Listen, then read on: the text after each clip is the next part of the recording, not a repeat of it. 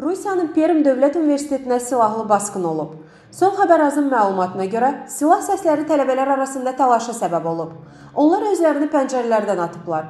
Hüquq mühafizə orqanları tərəfindən saxlanan terrorçu Timur Bekmansurov ilkin ifadəsində bu hücumu uşaqlıqdan planlaşdırdığını və 10-cu sinifdən bəri bunun üçün pul yığdığını deyib. O, həmçinin hansısa radikal təşkilatın üzvü olmadığını bildirib.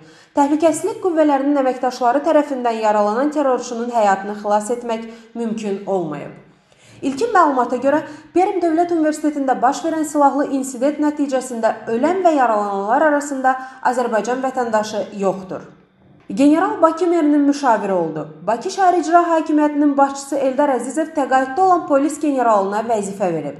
Son xəbər azın Qaynar Infoya istinadən məlumatına görə Eldar Əzizovun müvafiq əmri ilə polis general-mayoru Sahib Mirzəyev Bakı şəhər icra hakimiyyətinin başçısının müşaviri təyin olunub. Qeyd edək ki, polis general-mayoru Sahib Mirzəyev bundan əvvəl Daxili İşlər Nazirliyinin Daxili Təhqiqatlar İdarəsinin rəisi olub. O, ötən ilin iyulunda Daxili İşlər naziri general-polkovnik Vilayət Eyvazovun əmri ilə təqaüdə göndərilib.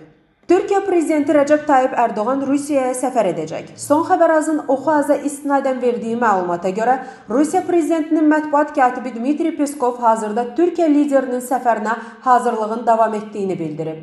Türkiyə prezidenti Rəcəb Tayyib Ərdoğan və Rusiyalı həmkarı Vladimir Putinin görüşündə bir çox aktual iki tərəfli və regional məsələlərin müzakirəsi gözlənilir.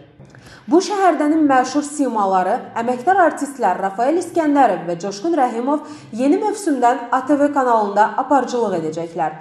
Biqazın sorğusuna cavab olaraq bu xəbəri telekanaldan təsdiq ediblər. Belə ki, Rafael və Coşqunun yeni layihəsinin adı bu şəhərdə 2050 adlanacaq. Bununla yanaşı efirdə yayımlanan və yayımlanmayan konsertlərdən görüntülər də telekanalda yer alacaq.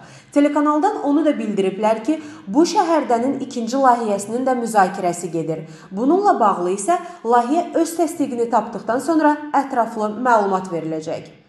Müğənni Xatirə İslam sosial şəbəkədə izləyicilərindən kömək istəyib. Big Az axşamaza istinadən xəbər verir ki, sənətçi təcili arıqlamağın yollarını axtardığını yazıb. O bildirib ki, bu şərti ona həkim qoyub. Təcili şəkildə 5 kiloqram çəki atmağa nə köməklik edə bilər? Həkimə söz vermişəm. Bir həftə uzağı 10 gün ərzində arıqlamalıyam. Amma ziyansız olsun deyə Xatirə bildirib. Qeyd edək ki, Xatirə bundan əvvəl artıq çəkidən azad olmaq üçün plastik əməliyyat etdirmişdi.